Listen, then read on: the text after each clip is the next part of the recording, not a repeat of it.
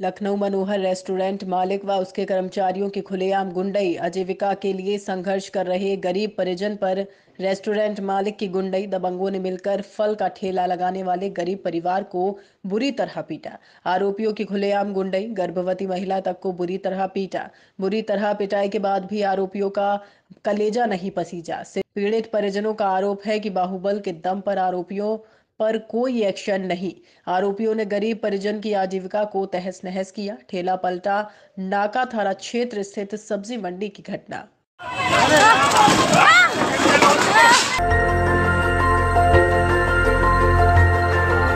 देखते रहिए डीबी भारती समाचार। नज़र हर खबर पर।